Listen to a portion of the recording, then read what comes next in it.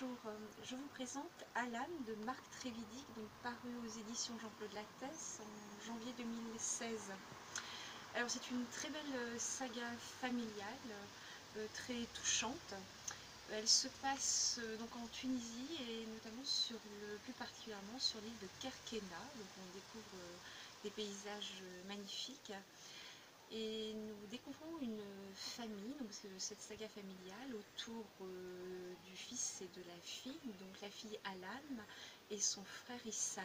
Enfants, ils sont très proches et ils ont un projet euh, artistique commun autour de la peinture et de la musique. Alam est une euh, pianiste assez douée et Issam, lui, est un peintre euh, magnifique, découvert par ce peintre, par ce célèbre peintre français qui est venu euh, justement se retirer sur l'île de Kerkena.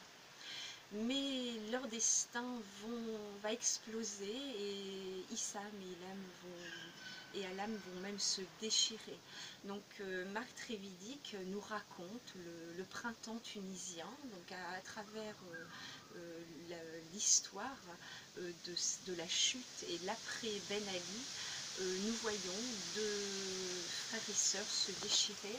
Autant Alam veut continuer son projet artistique, autant euh, Issam va le rejeter, va partir en université et va même se radicaliser dans des mouvements islamistes.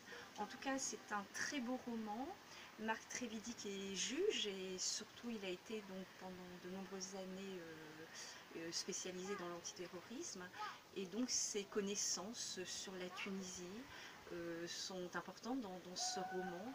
Et donc il nous fait vivre notamment ce, printemps tunisien. Et donc c'est très intéressant de découvrir à travers une saga familiale. Très bonne lecture, à bientôt